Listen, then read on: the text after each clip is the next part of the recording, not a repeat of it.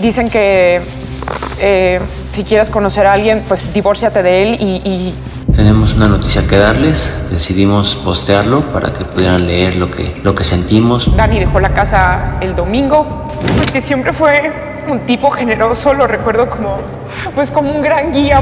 Debido a que publicó la confirmación de su ruptura la noche del 28 de febrero, para la mañana del 1 de marzo, Tania Rincón habló al respecto en el programa Hoy acerca de su separación. La conductora termina 12 años de matrimonio con el padre de sus hijos, Patricio y Amelia.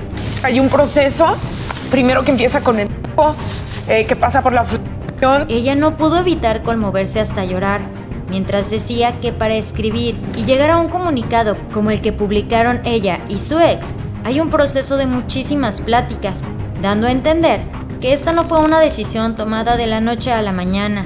No nos casamos pensando en que esto iba a acabar algún día, nos casamos para toda la vida. Ella aseguró que tienen dos hijos maravillosos, pero que independientemente de eso, son 16 años que está extremadamente agradecida con Dani y que precisamente debido a la excelente comunicación que tienen, esto mismo se lo ha comunicado ella a él.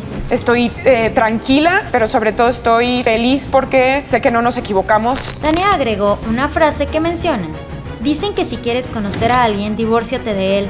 Yo estoy conociendo a Dani y agradezco a la vida que me lo haya puesto en el camino. Puesto en el camino no solo porque me regaló dos hijos, sino porque siempre le voy a tener un profundo amor. De igual manera, agradeció profundamente a su familia y a sus amigos por ser su soporte, comentando que ha sido un proceso muy amistoso, fundado en el amor en el respeto y en el cariño que se tienen.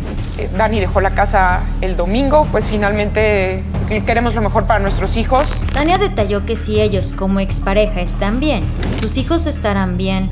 Fue a través de un comunicado como la expareja anunció que le ponían fin a 12 años de matrimonio y 16 años juntos, siempre resaltando el respeto y el amor familiar que perdurará pese a la ruptura.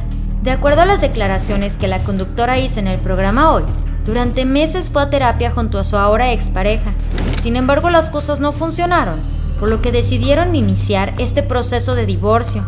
Durante su intervención en el programa Hoy, Tania Rincón recibió el apoyo de sus compañeros, quienes la abrazaron y le dieron palabras de aliento.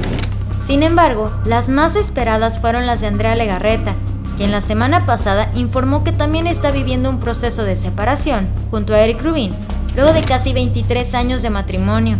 Las primeras palabras de Andrea Legarreta fueron, aquí estamos, apoyándonos en familia, como personas que nos amamos. Tanita, sabemos que estás teniendo un proceso difícil. Vimos tu comunicado, estamos contigo.